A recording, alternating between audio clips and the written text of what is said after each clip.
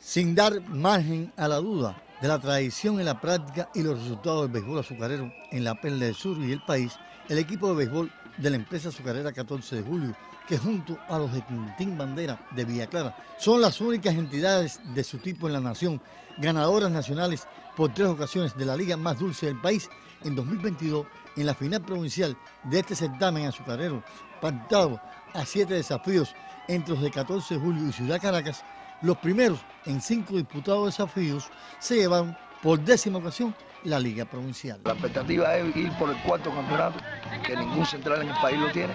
y 14 de julio va por eso. Aún cuando resta por hacer para cumplir con el objetivo de llevar mayor recreación sana a los trabajadores del sector,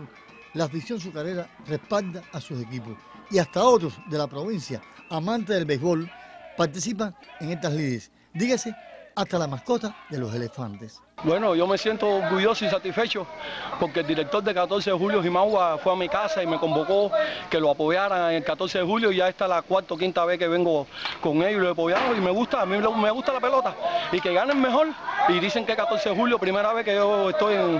en, una azucarera y dicen que 14 de julio es el mejor y bueno, ese es mi equipo ahora. Los de 14 de julio, ya con el boleto a la zona nacional, están conscientes de que deben continuar su preparación deportiva con vista a compromisos más exigentes, pero sin descuidar la reparación del ingenio y la siembra de caña para mantener la condición de ingenio más eficiente del país en el último lustro.